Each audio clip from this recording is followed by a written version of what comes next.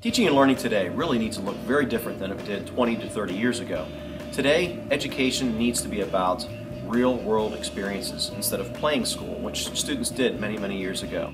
Students need opportunities not only to solve the problems that are already out there, but really to identify what those problems are um, and ask good questions.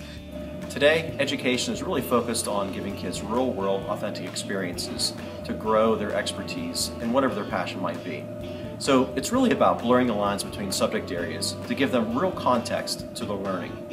It's taking the skills that they've gained and making sure that they can apply them to any situation.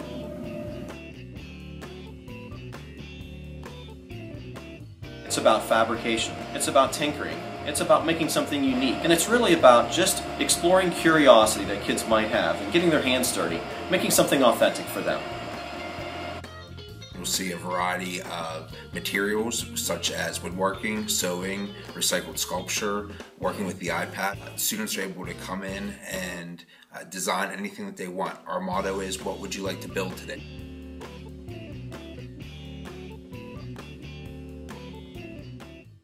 Through the World Affairs Council of Pittsburgh, our students connect with experts in classrooms from across the globe, including schools in Brazil and Iran. At the Heinz History Center, middle school students connect present to past. With Pittsburgh Galleries Project, students go behind the scenes to learn to curate exhibits with museum mentors. With Pittsburgh Filmmakers, Avonworth hosts an adjudicated student film festival with original narrative, documentary, and animated short films from schools across the region and the Children's Museum of Pittsburgh has helped to develop a culture of making throughout the district, among other partnerships.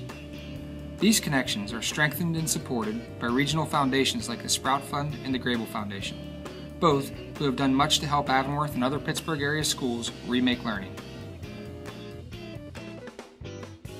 Schools shouldn't have to be institutional these days.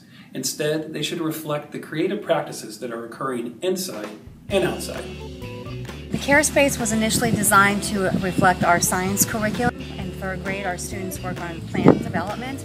Um, fourth grade, our students work on habitats. And in fifth grade, the students are actually using this area to write poetry on nature.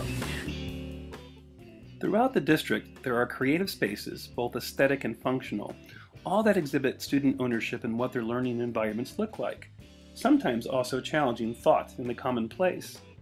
Classrooms and community spaces are designed for collaboration and design thinking, promoting active student-centered learning.